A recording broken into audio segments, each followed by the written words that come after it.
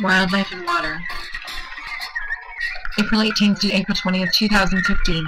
I decided to take a spring camping break for a couple of days at one of my favorite quiet spots just before Earth Day. I saw a moose, four Canada geese who were nesting along the banks, as well as approximately a count of 80 who flew that overhead. I saw a robin, a large eagle, a raven, and coyote scat. I people and a lot of white scum on the bank from 7 a.m. to 10.30 a.m. I have witnessed this white foam-like substance on the river before when we were tubing. Later in the year, if there were leaves on the trees, one might mistake it for poplar fluff, but it definitely is not poplar fluff. I saw zero fish jump and very few freshwater shells and witnessed the geese and ducks not wanting to land in the water while it was covered in whatever this substance is. I can only assume someone upstream from Rangeton Park is dumping something into the Pembina River that they should not be. What is this white scum floating on the Pembina River?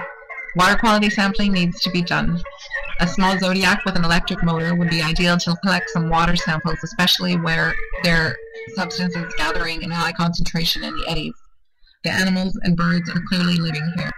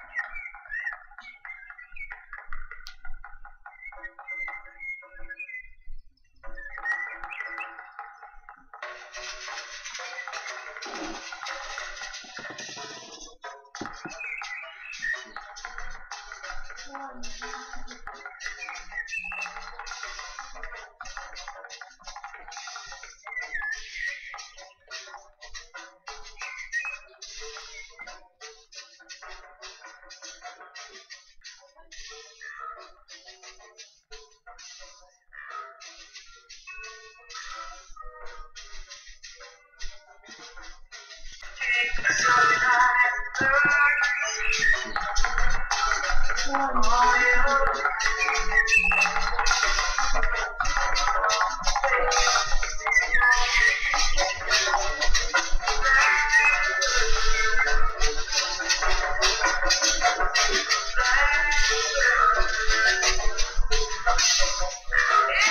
you.